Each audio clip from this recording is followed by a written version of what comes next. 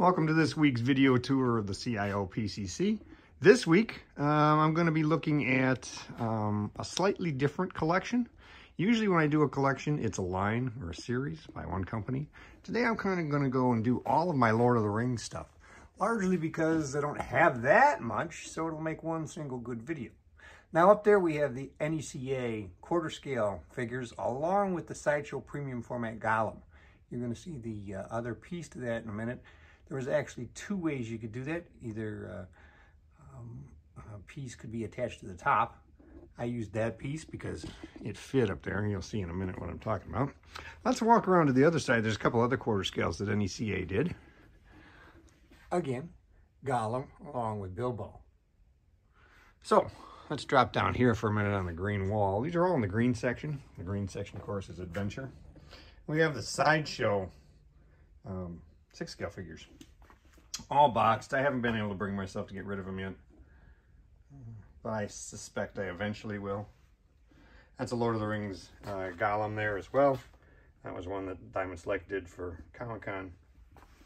That's the ACI uh, Aragorn and uh, Boromir with the sculpted hair. Now the ACI Aragorn I didn't get rid of yet because it is a nice figure. Uh, just still nobody's done a great Aragorn. So let's start with some of the Asmus 6 scale up on top here. Morgul Lord, the Mouth of Sauron, the Witch uh, King, who is one of my favorites. They really underappreciated line of figures. Done a great job, and they're only getting better.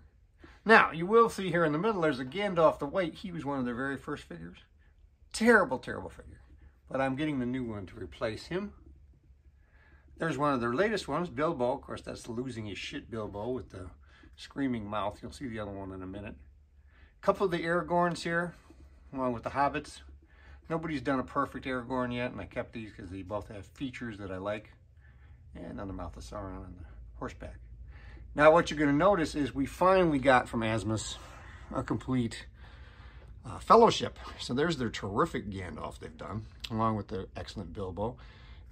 and Gimli, who took forever for somebody to finally do a nice Gimli. And we have another Gandalf the Grey. I haven't gotten rid of that one yet, but I suspect as I need room, he's going to get boxed up and sold. A few more of the elves. Grishnakh there, getting skewered through the middle by Eomer.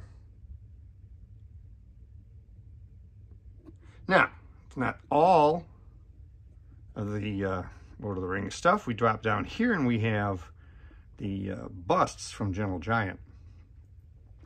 They didn't do too many, but they did a nice line. I'm pretty happy with it. They got a pretty wide variety of the characters.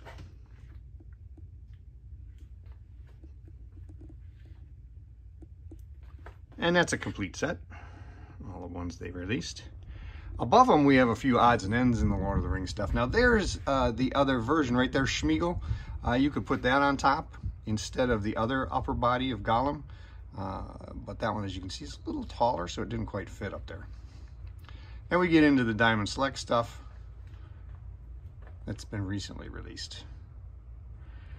And we're going to finish off down here on this row just to show I like to show uh, the evolution of action figures as well in the museum.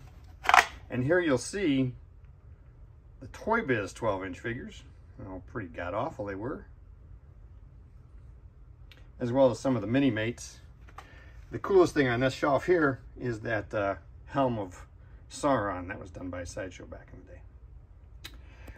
And we'll finish up with the quarter scale uh, Morgul Lord. I actually have a number of other quarter scale figures, including Aragorn and Gandalf or Kai.